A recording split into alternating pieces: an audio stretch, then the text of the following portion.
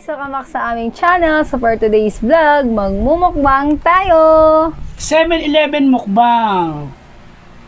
So, kung hindi pa- nakasubscribe dyan, please click the bell button at mag-subscribe na kayo and like the video and comment na rin kayo para updated kayo sa mga latest vlog namin.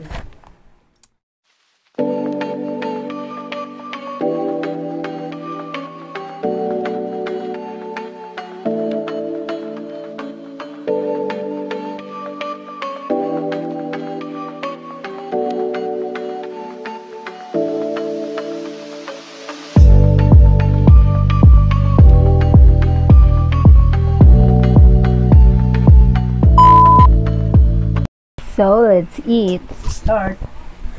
Kumain na kasi ako guys ng onti siya, hindi pa nakakain. Gutom na ako, walang So, tikman natin tong Tira mo ako chicken. dyan ha. Narinig ba? Ayan. Ay, nakalimutan ko, hindi ko nalagyan tong isa. ano ba yan? Harap. Tira mo ako. Magkano Masarap ka? siya. Ano lang siya guys? Daming oil. Mamantika lang. Mantika, tingnan mo yung Parang mantika ganun niya. kagaya din sa mini stop. Parang mini stop Kasi lang. yung hotdog, medyo malamig na. Pero pinainit ko siya sa microwave doon. Pero alin, kanina hotdog? pa kasi, so lumamig na siya. Yung kanin nila. Tingnan rin yung kanin nila kung maganda ba guys. Mm, maganda rin yung kanin nila. Oh. So, kamay na tayo no. Try natin to. Sabi sa mga reviews, masarap daw to.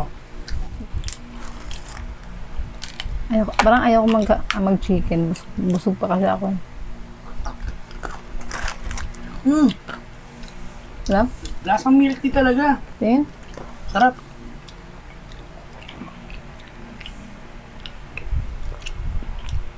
Oh, masarap.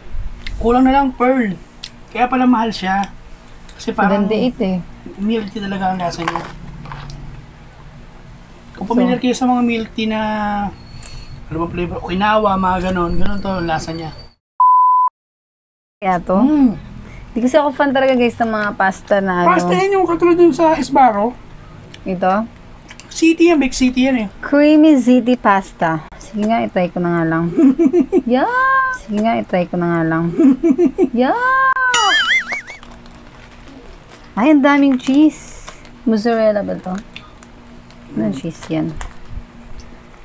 Yan o. Oh my God. Tapos, ay! May garlic bread siya guys sa gilid. Aray ko.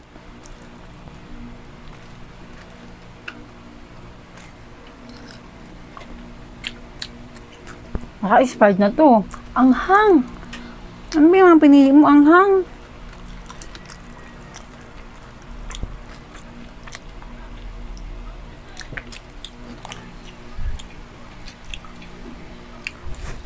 masarap siya.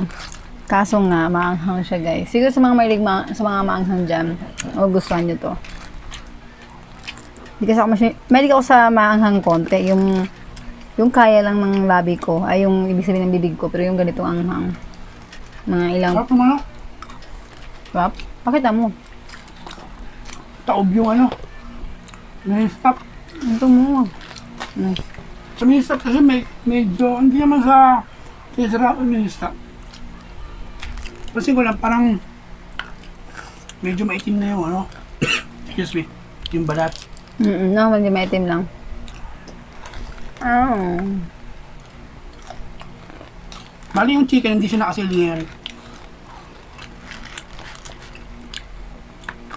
Ito pa anniversary vlog na to. Kasi mag-anniversary na kami guys eh. Ito na yung handa namin. Mga to. May hot sauce pala. Ayan, no? Ayan, guys, oh, may hot sauce. Kung makikita nyo. Ayan. Tabang! Bang siya, no? Masarap siya. Sa mahig sa mag-cheese, masarap siya. Pero yung mga hindi malig mag-cheese masyado, tapos medyo matabang kasi siya. Ayan yung garlic bread. Mm, Ayoko nito. mantika. Good dahil sa butter. So guys, trivia lang sa mga isa sa mga favorite ko ng dessert is itong buko pandan. Kahit anong buko pandan. Lalo na yung ano yung lab, Nathaniel's ba yun? Mm. Nathaniel's na buko pandan guys. Try nyo siya. Medyo pricey siya guys, pero ang sarap. Magkano yung maliit na ganito? Hindi ko alam ah. Almost 100, di ba? Mm. Pero ang sarap guys. Creamy siya. Ay, hirap pala buksan guys. Dati nung bago pa lang kami kakilala, mahilig din kami yung mukbang. Di ba? Pupunta kami sa ano guys, sa sa mall. Madalas kami sa mall o kaya sa... Kasi Banda Las Piñas siya dati. So, Pero kumakain tayo dati sa ano lang, Mm. sa mga fast food, fast food, kinakain namin palagi. Chicken tsaka Oo. pasta. Nakakain kami sa Shakey's. Madalas Shakey's. Nauwi na nga kami. Tapos minsan Jollibee, take out lang kami.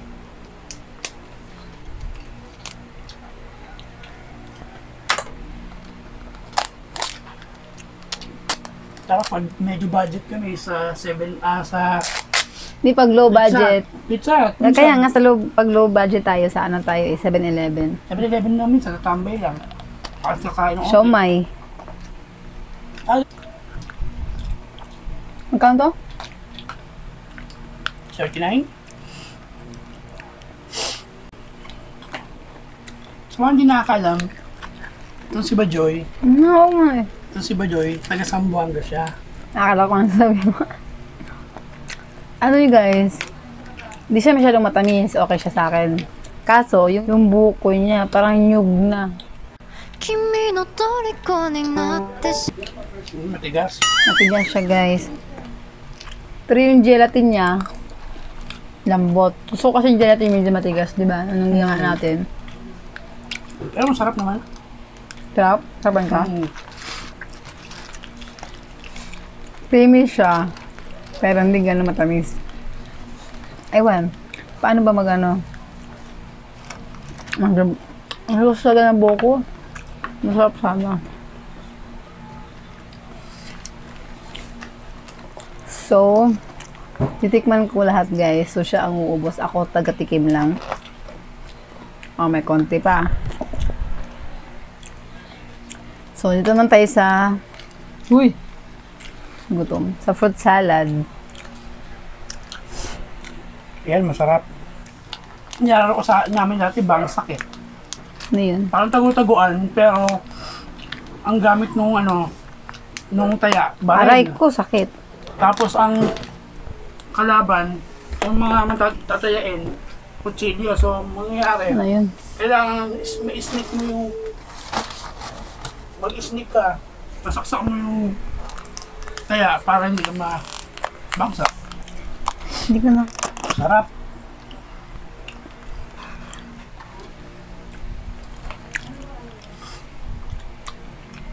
Mas masarap to. mm. parang Pasko ulit Mas masarap to, no? Dap. Kapa manok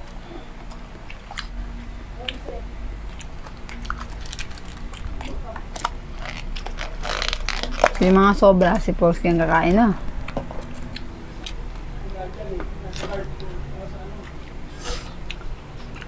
Delight. Dapat papakita mo bago kumain.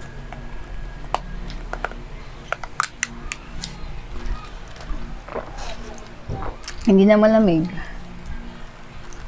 okay lang yan Mainit na.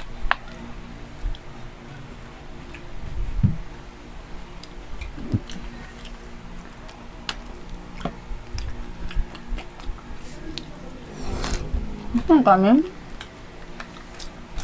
So, masarap din siya, no? Yung chicken na masarap din. Sopaw naman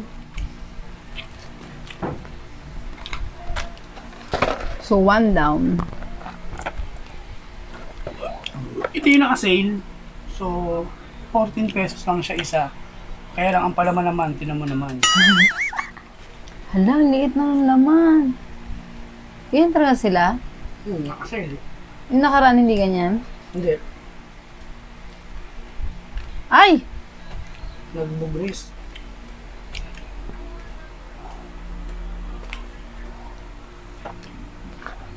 Ang kapal ng ano niya, do. Ba tawag?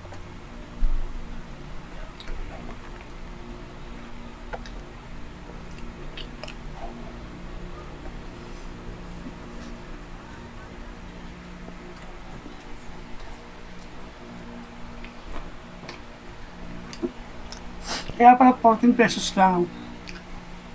Yung palaman, 10 piso yung tinapay, 4.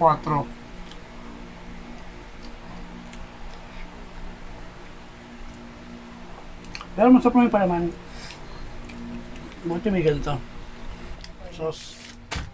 Ano yan? Breakfast pandesal, hinuli. Tapos kumuha lang ako guys ng iced tea. Yan. Naku, walang palaman. Tingin. Patingin, patingin. Isang ham lang. Ano yung white? Hotdog? Hmm. Sarap. Masarap tayo dati. Mahilig talaga ako sa mga ganito, mga tinapay, pandesal. Dati nung nagtaba ko sa, sa, sa, mo. Madrigal, di ba? Hmm. Yun ang binibili ko yung masarap. Kasi yung dough niya masarap. Nga pala guys, sa napansin nyo, konti lang kinain ko kasi kumain na kasi ako eh. Siya, hindi pa siya kumain guys. Mm, esti ka. Ito guys, masarap siya. Kung naghahanap kayo na parang milk tea, milk tea, no? Mm. It's getting hot in here. Auto made in. Ah, winter melon to. Ah, winter melon pala. Sorry guys, kanina. Kaya pala yung lasa Yung niya. Kasi niya lasang winter melon, hindi Okinawa. Pero masarap siya. Hindi siya masyadong mapait, no? Mm. Hindi katulad sa mga milk tea, milk tea sa mga ano guys. Sa mall. Parang napansin ko meron din siya mga ano, jelly sa loob. Oh, nakalagay kasi guys, ah, brewed winter melon milk tea plus chowi jellies. Jelly. Jellies, ayan. Marami ba? Ay, oo nga, may mga konti. Yan guys, oh, kita nyo ba? Yan oh, yung black black, yan. Jelly. Try natin to. Creamy Delight. Strawberry Pascual Creamy Delight. Bumili ako nito kasi may din ako sa mga ganito. Masarap rin siya, no? Masarap ka dito sa pasta. Ang bango, may strawberry. Sarap din. Hindi naman siya tumanga.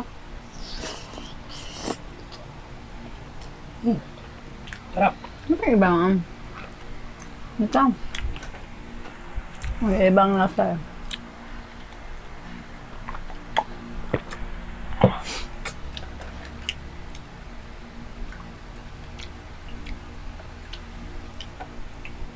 Ayan, Ako, made. pan ako ng yogurt. Ewan ko, mahilig talaga ako sa yogurt. Nasa kasi niya parang yun yung tipo ng lasang gusto ko. Maasim-asim. Ah, imported pala to. Galing, ano, Spain. Hmm. Galing Spain siya, guys. Pascual. Isang kainin mo lang. Ay, ako. Sarap.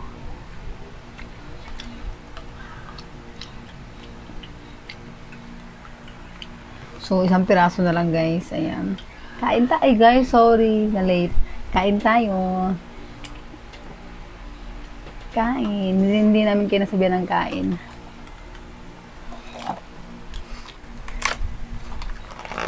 Ito yung tuna macaroni.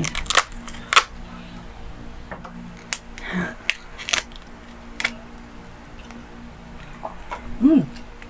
Parang ginagawa ng nanay ko to ah. Sarap. Yung Kahit busog na ako.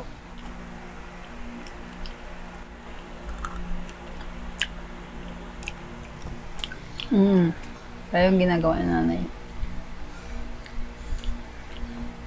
Umubos yung lahat. Mamaya kayo mo. Hmm. Ito hindi na yung buksan kasi busog na kami. Ah, pero review lang ng product na to, medyo masarap siya kasi ang gamit ng cheese is cream cheese. Tapos medyo malaki siya. So, ang value nito is 23 pesos. Ah, may ano din, may ube rin sa loob. Pero yung cheese niya kasi, cream cheese kaya medyo matabang. Pero masarap. So, yun guys. Para yung buksan. Huwag na, busog na ako eh. Mamaya. Hmm. Buksan lang natin guys para makita niyo. Oo. Oh, sorry. Sa kalaki oh. Yan, 29 pesos. 29 pesos. So, kung medyo afford nyo, bili kayo kasi masarap naman siya. Pero kung, Malambot, malambot yung anong doon niya. Nagtitipid kayo, hindi siya ah, budget friendly kasi isang tinapay lang siya. So, Kain pa ulit guys. Pingi! Mmm! Ano yung commercial? Yummy! This tastes terrific! Sige pa ako. Yun o, yung ano.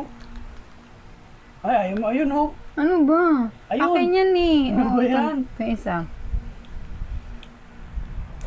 Mmm. Sarap ng gatas. Sana. A few moments later. So guys, ito, review So, na ayun namin. guys. Tapos na kaming kumain. Mga chicken, sa mga salad, sa mga drinks. Ito, masarap. Kung naghanap kayo ng ano.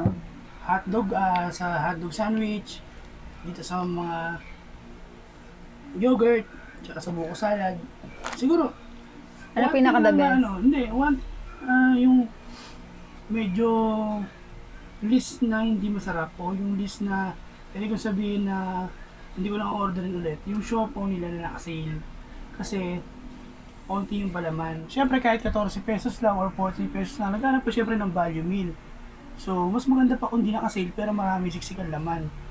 Pero yung lasa naman ng palaman, masarap. Masarap siya. Kaya limited lang talaga. Tapos yung pinaka-paborito ko sa lahat ng kinain, since gutom ako dahil wala pa akong tanghalian, tsaka almusal, so yung manok.